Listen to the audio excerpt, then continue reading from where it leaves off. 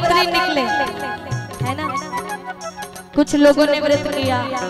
कोई ने कैसे मैया को मनाया? लेकिन मैया को जो चुतड़ी उड़ा दे। बहुत बड़ी बात बता रही हूँ। ये ग्रंथ में लिखी हुई बात बता रही हूँ। माता को जो चुंदड़ी ओढ़ा करके उनका सम्मान कर देना, माता उनसे बड़ी प्रसन्न हो जाती है। और प्रसन्न होने के बाद में उनके घर में जो बेटी का जन्म होता है, वो मैया की देन होती है। तो जो माता जी को चुंदड़ी उड़ाना चाहते हैं, बैठे बैठे, भाव भरी तो दोनों हाथ उठा लीजिए अपने। ये मैया का प्रेम है। एक बार सीधे सीधे हाथ होने चाहिए और तालियों की सेवा होनी चाहिए। कैमरे वाले भैया, जो हाथ नहीं उठा रहे, उन्हें कैमरे में कैद कर लो। सीधे सीधे हाथ होने चाहिए। और क्या कहेंगे? वो प्यारी ला